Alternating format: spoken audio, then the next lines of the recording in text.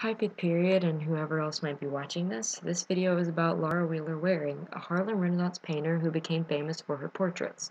Citations for pictures and facts will be in the bottom right corner.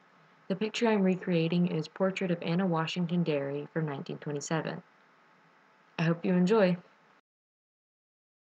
Laura Wheeler Waring was a famous black artist of the Harlem Renaissance. She was born in 1887 in Hartford, Connecticut, where she lived out her childhood. Waring was born to an upper middle class black family. Her father was a Howard University graduate and her mother was a classical painter. Because of this, she had many opportunities to excel. Waring graduated high school with honors and attended the Pennsylvania Academy of Fine Arts for six years. Her own background in schooling led her to value education greatly, especially education in the arts. She created visual art and music departments for many Philadelphia schools and helped these departments grow for over 30 years. Waring's first paintings were done on trips to Europe and primarily in France. Famous Harlem Renaissance poet and novelist Jessie Redmon Fauset accompanied her to France in 1924. She married Lincoln University professor Walter E. Waring in 1928, who introduced her to many prominent Harlem Renaissance figures. Laura Wheeler Waring's overwhelming amount of formal training in fine art, which was incredibly rare for any painter of her time period, led her to have a very European worldview, or at least pertaining to art. The reasons for her many European travels were mainly to study the work of other famous artists, including Claude Monet. Her earliest art, including her 1916 painting Heirlooms, and her 1925 painting Houses at Semur, France, look like something that any other classical European painter would have created at the time. However, when she returns to America for the final time and becomes entrenched in the Harlem Renaissance, her painting starts to change. It becomes less like something she copied off of a painting in the Louvre and more of her own distinct style of art. Little Brown Girl and Girl in Green Cap are good examples of this. Laura Waring is most famous for her portraits of famous Harlem Renaissance figures and wealthy black people, all of which are done in a traditional European style of Impressionism. To make an analogy, Waring is to art as Countee Cullen is to poetry.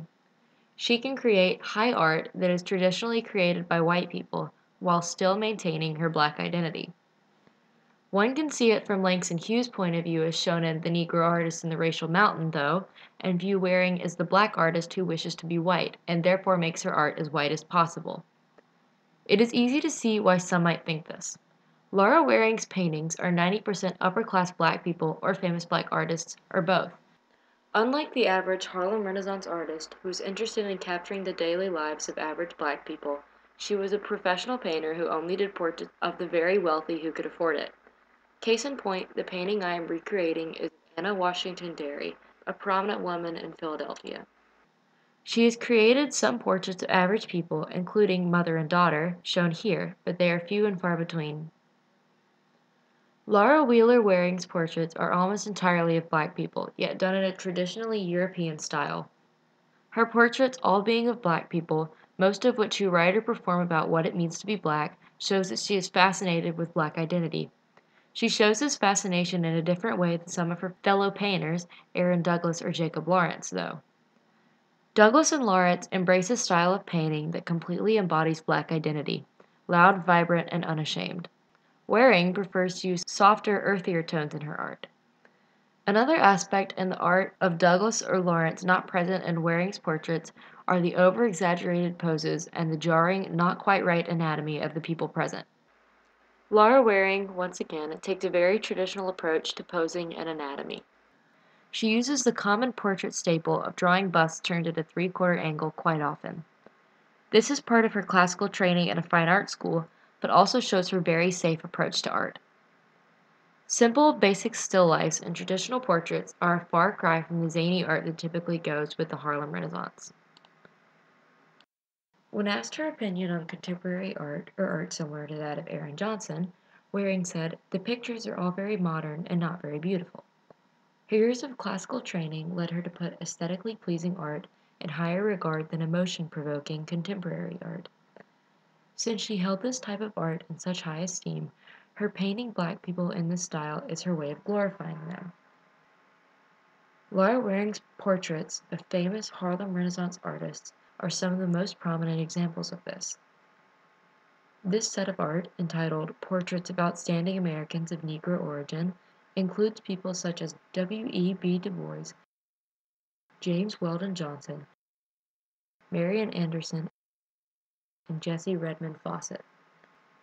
Her painting these black activists and artists in a traditional way that is pleasing to the eye is her way of making them and their respective art forms dignified. She shows through these portraits that Fauset's poetry is just as beautiful as distinguished as Shakespeare's, and Marian Anderson's singing is just as distinguished as a European opera singer. Laura Wheeler Waring is the perfect example of someone who can combine both pride in her heritage and the traditional European idea of fine art. Although her early art may have been a bit cookie cutter impressionism, by the end of the Harlem Renaissance she had found her voice and her own style of expressing herself through painting. Like many other Harlem Renaissance artists, she used this period of time as a means to learn and grow through her art and become one of America's most famous and praised portrait artists to this day.